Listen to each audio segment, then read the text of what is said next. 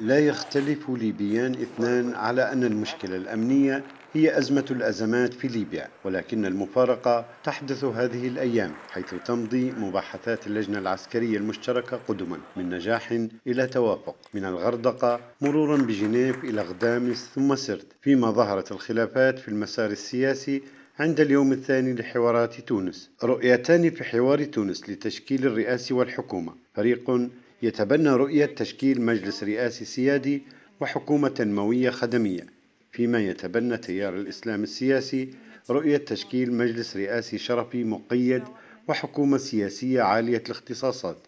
على النقيض تماما فإن لجنة خمسة زائد خمسة العسكرية المشتركة والتي تحولت إلى لجنة العشرة تمضي قدما في جولتها السادسة التي تلتئم في سرت وتتمحور على السبل المثلى لتنفيذ ما توصلت إليه من تفاهمات. وكما يرى مراقبون أن نجاح مباحثات اللجنة العسكرية لن يتحقق إلا بالعمل في الميدان على أرض الواقع بدءا من الحفاظ على الاتفاق الدائم لوقف إطلاق النار. مرورا بفتح الطرقات بين المدن وحلحلة التشكيلات المسلحة وجمع السلاح وعودة المعسكرات وحماية المنشآت الحيوية وليس انتهاء بإخراج جميع القوات الأجنبية والمرتزقة من البلاد. التحدي الحقيقي للجنة العسكرية المشتركة هو المرتقب على الأرض لا سيما مع ما تشهده الساحة من معرقلين داخليا وخارجيا لهذا المسار الناجح نسبيا فيما يرى مهتمون أن هذه اللجنة المشتركة مثالا يحتذى التفاهمات الوطنية بالنوع عن المصالح الشخصية